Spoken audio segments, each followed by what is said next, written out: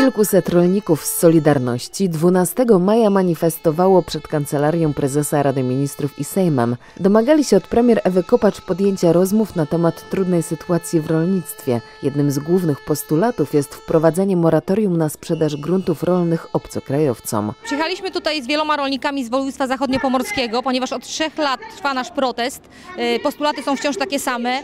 Y, Zdesperowani y, brakiem efektów, żadnych rozmów i realizacją postulatów, postanowiliśmy przenieść protest do Warszawy i skierować bezpośrednio go do pani premier, ponieważ do tej pory premier naszego rządu nie zajmuje w ogóle stanowiska w kwestiach rolniczych, a to jest najważniejsza gałąź polskiej gospodarki i dziwimy się, że rząd y, tak po macoszemu to traktuje. Jednym z najważniejszych postulatów y, woj- rolników z województwa zachodniopomorskiego jest kwestia obrotu ziemią, y, ponieważ ceny y, dochodzą do y, bardzo wysokich, y, bardzo wysokie są te ceny. Rolnicy nie mają y, możliwości finansowych, żeby ziemię kupować.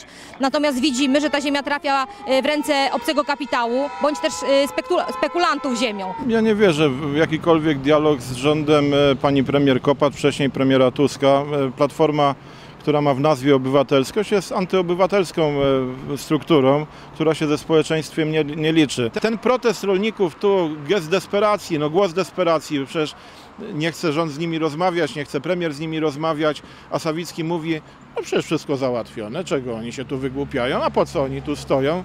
Pogoda im pasuje, widocznie im tutaj dobrze, Yy, a przecież wszystkie postulaty yy, udało się zrealizować, no po prostu kpię z tych ludzi. No. Celowo się sprowadza e, gospodarkę polską, polskiego chłopa do kapitulacji, żeby e, nie miał środków finansowych, żeby tą ziemię e, mogli nabyć obcokrajowcy. Zarobki są niskie, bo nam nie chodzi jako rolnikom tylko o e, nasze interesy. My, e, nasz protest również jest e, zadbaniem o konsumenta, żeby konsument dobrze zarabiał, godnie żył. Mamy schizofreniczną sytuację w tej chwili, że pomimo wprowadzenia zakazu upraw roślin GMO, to nasiona GMO mogą się znajdować w obrocie.